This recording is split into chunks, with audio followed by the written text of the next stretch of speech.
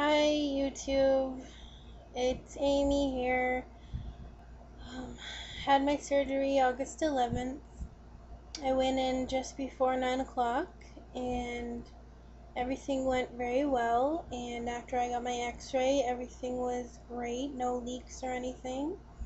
I got home yesterday, which was Thursday, um, about 5 in the afternoon.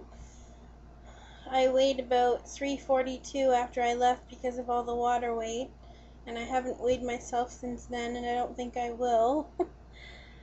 um, I don't actually have a scale at my house, so when I feel like going and getting one, then I will, but I'm not too worried about it right now. I'm finding it hard at first to get my my liquid and protein goals met, but I'm working very hard to to meet those. So today has been my first day that I've been home the whole day. So I'm doing pretty good today. I'm feeling pretty tired right now, as you can probably see. but um, just wanted to let you know that I was doing good and I'm alive. Everything went well. I had a couple of really nice roommates while I was there.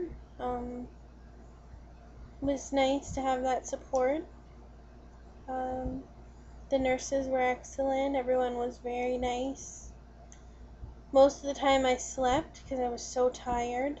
Um, my level of pain wasn't as bad as I thought it would be. Um, they get you to rate it from um, 0 to 10, and I think the most I said was a 7.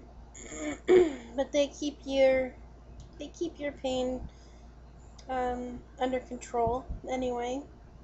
I found that um, from the morphine I got very very itchy all over. It was horrible. that was probably the worst part. Like so itchy. Um, so they gave me some Benadryl, which helped helped a lot with the itching.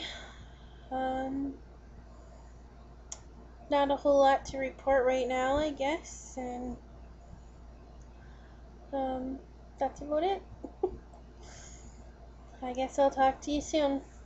Bye.